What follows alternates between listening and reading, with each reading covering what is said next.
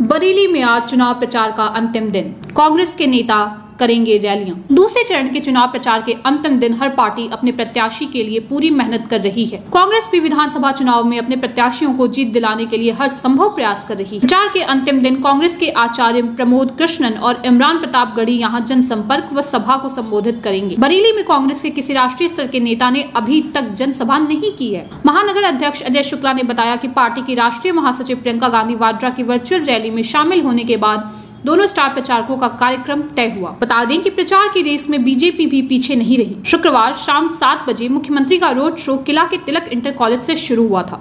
इससे पहले त्रिशूल एयरफोर्स स्टेशन पर भाजपा विधायक डॉक्टर अरुण कुमार, मेयर उमेश गौतम, सांसद संतोष गंगवार, महानगर अध्यक्ष डॉक्टर के एम अरोड़ा समेत प्रमुख नेताओं ने उनका स्वागत किया।